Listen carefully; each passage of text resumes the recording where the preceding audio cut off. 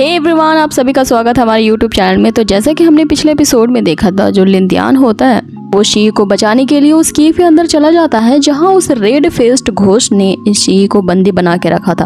वो घोस्ट उसे हैरेस करने की कोशिश करता है, लेकिन तभी लिंतियान वहाँ पे आ जाता है। जो उस घोस्ट का ध्यान दूसरी तरफ़ भटकाते हुए शी को वहाँ से लेके जा ही रहा होता है कि वो जो घोस्ट होता है, वो अचानक से उस केव की ओपनिंग के पास आके खड़ा हो जाता है। अब उस घोष्ट की केव ब्लॉक करने के कारण इनका वहाँ से निकलना बहुत मुश्किल हो जाता है तो ये वापस से केव के अंदर ही चले जाते हैं। अब वे दोनों केव के डेरिन के पास पहुँच जाते हैं। यहाँ लिंतियान जो होता है शी से कहता है कि तुम्हें जैसे ही चांस मिले तुम यहाँ से भाग जाना। तब तक मैं किसी तरह इसे होल्ड करने की कोशिश करता हूँ। आगे लिंतियान को हम देखते हैं कि वो अपने शॉट से लगातार उस घोस्ट पे अटैक कर रहा होता है। यहाँ शी उसे बिल्कुल छोड़ के जाना नहीं चाहती थी जिसपे लिंतियान ज़ोर से उसे चिल्लाते हुए वहाँ से जाने को कहता है। अगर लिंतियान उस घोस्ट पे अटैक करने के लिए अपने शॉट के अलग अलग टेक्निक्स को आजमाता है। लेकिन वो घोस्ट आसानी से सारे अटैक्स को ब्लॉक कर दे रहा था। अब इससे बात नहीं बनती तो आगे लिंतियान अपनी शॉट की दूसरी टेक्निक जो कि लाइटनिंग शॉट होती है, उससे उस घोस्ट पे अटैक करता है। यहाँ जो उसके शॉट के स्प्लैशेस होती हैं, वो इलेक्ट्रिक वेव में ट्रांसफॉर्म होकर उस घोस्ट को हिट कर रही थी। लेकिन इन इलेक्ट्रिक शॉक का भी उस घोस्ट पे कोई अफेक्ट नहीं होता। दूसरी तरफ़ हम शी को देखते हैं, जो केव के बाहर निकल ही चुकी थी, लेकिन तभी वो सोचती है कि वो ऐसे लिंतियान को अकेले छोड़ के नहीं जा सकती इस मुसीबत में। वो आपस से केव के अंदर चली जाती है, और आगे हम देखते हैं कि अब वो जो घोष्ट होता है, वो लिंतियान पे अब काउंटर अटैक करने वाला होता है। कि उसके बीच में शी आ जाती है और वो अपने शॉर्ट से उस पे अटैक करती है, जो सीधा उस घोस्ट के हाथ पे लगता है। यहाँ शील इम्तियान से कह रही होती है कि जब हम इस फॉरेस्ट में साथ में आए हैं तो साथ में ही मिलके जाएँगे। आगे शी उसे कहती है कि अब मैं इस घोस्ट पे अटैक करने वाली हूँ तो तुम मौका देखते ही इस पे डबल अटैक करना। अब शी लगातार उस पर अटैक करने लगती है, जिससे वो जो घोस्ट होता है, वो शी पे अटैक करता है। और यहाँ शी की शॉट उसके हाथों से छूट जाती है। तभी मौका देखते ही लिन तियान उस घोस्ट पे अटैक करता है और वहाँ पे एक बहुत बड़ी एनर्जी जनरेट होती है। यहाँ लिंतियान ये ऑब्ज़र्व करता है कि ये घोस्ट का जो नेक वाला एरिया है, वो इसने बहुत ही अच्छे से प्रोटेक्ट किया है। तो ज़रूर इसके नेक में कुछ ऐसा है जो उसकी लाइफ से कनेक्टेड है। आगे वो शी को पीछे हटने को कहते हुए उसके नेक पे अटैक करने की सोचता है। जैसे ही वो घोस्ट लिंतियान के एकदम नज़दीक होता है, वो यहाँ पे अपने शॉट की जितनी भी टेक्निक्स रहती हैं, सारी के सारी आजमा लेता है। और लास्टली अपने शेडो फायर पंचेस से लगातार उसके नेक पे अटैक करता है। जिससे वो घोष्ट वहीं पे डिस्ट्रॉय हो जाता है और उसका जो इनर कोर होता है, वो रिलीज़ हो जाता है। शी यहाँ लिंतियान के पास आके पूछती है कि आखिर तुमने ये कैसे किया? अगर लिंतियान जैसे ही शी से कुछ कहने जा ही रहा होता है कि उसके पैर लड़खड़ाते हैं और ये दोनों साथ में गिर जाते हैं। यहाँ पे वो एक दूसरे को देखते ही रह जाते हैं, लेकिन वो जो इनर कोर होता है, वो लुढ़कते हुए एक ऐसी जगह पे पहुँच जाता है जहाँ पे बहुत सारे इनर कोर होते हैं। ये दोनों उस इनर कोर के पास पहुँचते हैं जहाँ शी लिंतियान से कहती है कि आखिर उस रेड फेस घोस्ट ने इतने सारे क्रिस्टल्स का कलेक्शन क्यों रखा है? जिसपे लिंतियान ये गेस करता है कि हो सकता है कि उस घोस्ट ने बहुत सारे लोगों को यहाँ पे कैप्चर किया होगा। या मॉन्स्टर्स को कैप्चर किया होगा और उनके मरने के बाद उनके इनर कोर यहीं पे रह गए।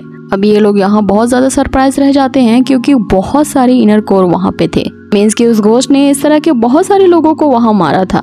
जिसपे लिंदियान कहता है कि चलो एक बात तो अच्छी हुई कि हमें इतने सारे इनर कोर मिल गए। और इससे इन सभी लोगों का जो यहाँ पे मारे जा चुके हैं, हमने इनका रिवेंज भी ले लिया। और इतने सारे आयरन कोर के मिलने के बाद डेफिनेटली तो हम ही नंबर वन पे आएँगे। इतने सारे इनर कोर मिलने के बावजूद भी लिंतियान का मन नहीं भरता और वो फिर से उस फॉरेस्ट में हंटिंग करने के लिए चला जाता है। अगर लिंतियान को उस केव के बाहर ही एक बहुत बड़ा जॉइंट स्नेक मिलता है जिसपे लिंतियान ये कहते हुए कि इसके इनर कोर को तो मैं ही हासिल करूँगा, उस स्नेक का पीछा करने लगता है। आगे हम देखते हैं कि वो स्नेक पे लगातार अटैक करते हुए उसके भी इनर कोर को बाहर निकाल लेता है। आगे लिंतियान शी से कहता है कि अब ट्रायल जल्द ही खत्म होने वाला है तो अब हमें यहाँ से निकलना चाहिए। वे लोग बाहर निकलने वाले होते हैं कि फिर से उनका रास्ता कोई रोक लेता है, और ये वही स्टूडेंट होता है जो शी के पीछे पड़ा होता है, क्योंकि इन दोनों के पेरेंट्स ने ज़बरदस्ती इनकी शादी करवाने के लिए तय कर दिया था, और वो बार बार शी को इस चीज़ के लिए फोर्स करता रहता है। यहाँ वो उससे कहता है कि मैंने तुमसे कहा था कि तुम मेरे साथ हंटिंग पे जाओगी तो तुम इसके साथ क्या कर रही हो? यहाँ उसे गुस्से से कहती है कि मैं तुम्हें अच्छे से जानती भी नहीं है तुम मेरे रास्ते में आना बंद करो अब। अब शी के इतना कहने के बावजूद भी जो जाओ होता है, वो पीछे नहीं हटता। और शी से ज़बरदस्ती की कन्वर्सेशन करने लगता है, जिसमें जो लिंतियान होता है शी को हाथ पकड़ते वहाँ से ले जाता है। लेकिन जाओ का जो चमचा होता है, वो उसी के इशारे पे लिंदियान पे पीछे से अटैक करता है। यहाँ लिंदियान उनसे पूछता है कि आखिर किसकी हिम्मत हुई मुझ पे पीछे से अटैक करने की? तो वो चमचा उसे कहता है कि तुम्हें हम लोग इस तरह से जाने देंगे, ये कैसे सोच लिया तुमने? आगे यहाँ इन दोनों की फाइट शुरू हो जाती है, लेकिन लिन तियान अपने शेडो फायर पंच का इस्तेमाल करते हुए एक जोरदार पंच उस चमचे पे पड़ता है। इस पे वो वहीं बेहोश हो जाता है। यहाँ जाओ तियान कहता है कि अपने इस कुत्ते को संभाल लो, बहुत ही भौंक रहा था। इसमें जाओ लिन तियान से कहता है कि मेरे बंदे को मार के तुमने अच्छा नहीं किया। जिसमें लिन उसे कहता है कि तुम ही ने इस ट्रबल की शुरुआत पहले की थी, और मैंने तो तुम्हारी ही भाषा में इसका जवाब दिया है। आगे यहाँ इन दोनों की इसी तरह की काफ़ी लंबी चौड़ी डायलॉग्स वाली कॉन्वर्सेशन होती है। निकलता है कि ये दोनों आमने सामने भिड़ जाते हैं। और इन दोनों की फाइट से होने वाली हार जीत ही ये डिसाइड करेगी कि, कि ये इनर कोर अब कौन रखने वाला है। अब हम देखते हैं कि इनके बीच यहाँ होने वाली होती है कि वहाँ पे जो लैंड होती है वो हिलने लगती है। ऐसा लगता है कि बहुत तेज़ी से कोई बहुत बड़ा बीस्ट उनकी तरफ़ बढ़ रहा होता है। लेकिन हम जब बेस्ट को देखते हैं तो एक प्यारा सा फ्लावर दिखता है, जो कि रेंगते हुए तेज़ी से इनकी तरफ़ बढ़ रहा होता है। अब किसी भी एंगल से ये जो फ्लावर है मॉन्स्टर की तरह थोड़ी ना लगता है। अब फ्लावर को भी ये लोग मॉन्स्टर बना देते हैं। फूल तो कितने प्यारे होते हैं, लेकिन इस फ्लावर को देखिए कितनी जोरदार, खुखार दहाड़ मारता है। कि वहाँ पे खड़े सारे बंदों की हालत खराब हो जाती है, और इसके इसी दहाड़ के साथ हमारा ये एपिसोड भी यही होता है फिनिश सो so गाइज़ आप लोगों को ये आज का एपिसोड कैसा लगा मुझे कमेंट बॉक्स में ज़रूर बताएँ, क्योंकि आपके कमेंट्स का मुझे पर्सनली वेट रहता है, क्योंकि आपके कमेंट्स ऐसी है जो मेरे मोटिवेशन का सोर्स है। So keep on commenting good comment guys till then take care stay healthy bye